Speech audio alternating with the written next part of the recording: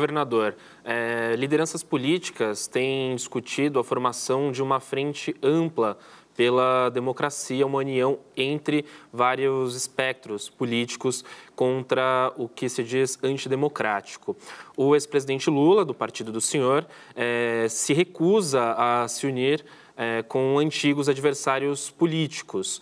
É, na opinião do senhor, é, o que pode fazer com que todos esses lados se unam de fato em prol da democracia e dentro dessa frente ampla? O senhor criticou a partidarização é, da polícia militar. Há espaço para militares também? Olha, nós vivemos num país democrático, é, um país, país, plural, de diferenças, de divergências. Né?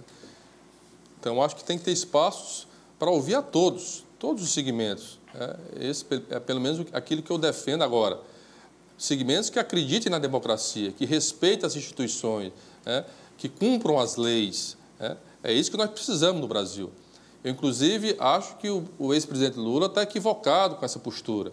Eu acho que é o momento de todos nós que acreditamos na democracia né, nos unirmos, deixarmos aí, é, deixar de remoer o passado, né, deixar também de pensar um pouco nas eleições de 2022 e pensar na nação brasileira.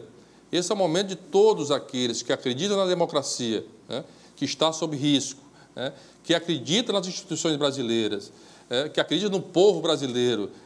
É o momento de nos unirmos, de fortalecer isso. E eu espero que o que eu puder contribuir para fazer essa união, para ajudar nessa união, eu estarei com essa disposição. Governador